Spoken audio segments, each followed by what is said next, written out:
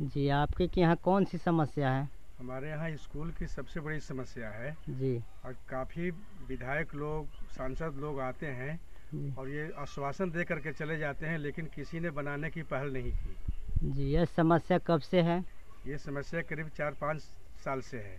खुला आसमान में पढ़ते हैं लड़कन लोग इससे धूप लगता है ठंडा के दिन में ठंडा लग जाता है ठंडा लगने से एक बच्चा पढ़ता था उसको ठंडा मार दिया तो सुई दवाई करा रहे हम गरीब। जी आपका बच्चा आपका बच्चा का ठंड लगा? जी।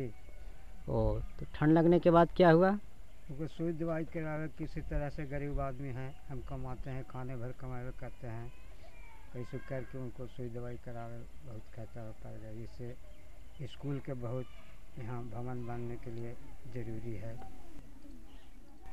मदनपुर प्रखंड के छक्कन बीघा गाँव में तीन वर्षों से विद्यालय भवन नहीं रहने के कारण खुले आसमान में पेड़ के नीचे पढ़ते हैं गरीब समुदाय के बच्चे। वर्षा होता है तो आप बस्ती सब भीग जाता है। चल जाते हैं हमने घरे। बुखार लग जाता है। और कोई सामना करना पड़ता है? बिजली गिर अथी अकबर गिर गया था। हमने बच गए थे मिस्त्री सब बच गए थे। भवनहीन है तो समस्या ही है। जैसे यहाँ चापाकल भी नहीं है। जी। पीने के पानी के लिए पानी भी अगर पीना होता है तो गाँव में ही जाते हैं दूसरे के घर पीने के लिए। तो इस समस्या समाधान के लिए आपने कोई उपाय किए थे? किसी पदाधिकारी के पास में आपने इस बात को रखे? हमारे बीओ हैं। जी। जो हमारी जो गुरु गोष्ठी होती है जी। तो उसमें हमने एक दो बार कहा और हमारे जो सी आर सी सी है उनसे भी हम बहुत बार कहते हैं। जी। सर हमें बहुत दिक्कत है वहाँ। तो- बच्चों को भी बहुत दिक्कत है। इस तरह से तो उन लोगों ने क्या आपसे समस्या के समाधान के लिए बात कही? बोले कि ठीक है।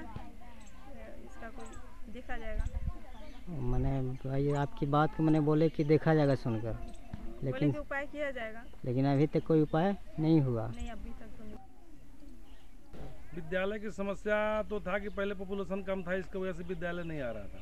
लेकिन जब से यहाँ विद्यालय अलाउट हुआ है उसके बाद से विद्यालय भवन बनने के लिए जो बिल्डिंग की आवश्यकता था उस ज़मीन के लिए जी। तो कुछ लोगों ने ज़मीन यहाँ देने के लिए उस पर बात रखा था। जी। जब ही बिल्डिंग बनने की बात है मामला प्रोसेस में आया जी। तो लोग नकार गए कुछ लोग उसमें ज़मीन देने से इनकार चले गए। जी।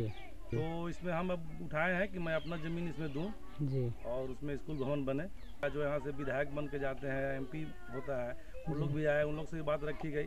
लेकिन सब लोग बस सुना और उसके बाद फिर कोई आदमी इस पर ध्यान नहीं दिया। इस समुदाय की मांग है कि हमारे गाँव में विद्यालय भवन हो ताकि हमारे के यहाँ बच्चों को शिक्षा सही ढंग से मिल सके।